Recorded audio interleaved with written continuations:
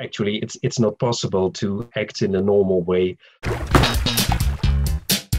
We know that those covid-19 measures have a huge impact on the performance of rituals uh, especially the measure of social distancing and the rule that you may only receive three people in the house and we see also the impact of those measures on the societal rituals. So, for example, we saw an empty Dam Square this year on the 4th of May with only the Queen and the King um, doing the ritual of commemorating the victim, victims of war. And we see a lot of new rituals. For example, the greeting rituals. Uh, we have to find a new pattern of greeting each other.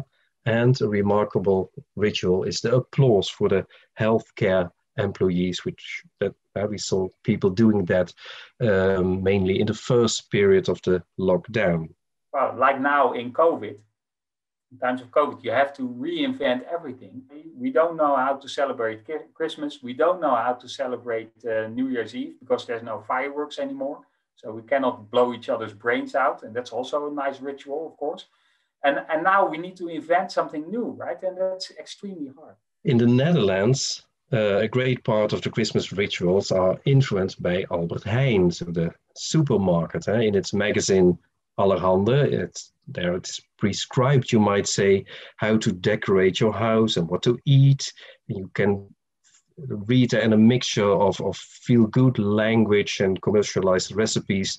But what if you are not happy in these days with a huge dinner? Uh, why should you organize a four or five course dinner if you're not able to invite your family or your friends due to the corona measures? Uh, what if you can't travel home? I think of our international students, for example.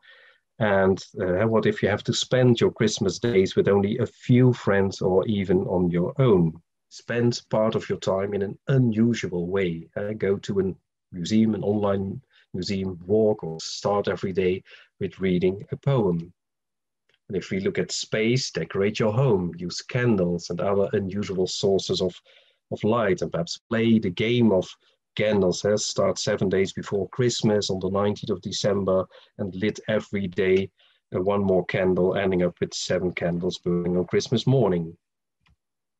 And the meaningful acting, you can organize a dinner for just a few people you would normally not invite uh, or organize lunch sessions with friends and discuss a topic that's really relevant to you. Uh, ask questions like, what have you learned in the previous month that you will take with you in the new year? Or what does Christmas mean to you? Or you can also do other things. You can write a reflection on this year, on 2020, your personal experiences, and send this reflection to all your friends together with a Happy New Year card.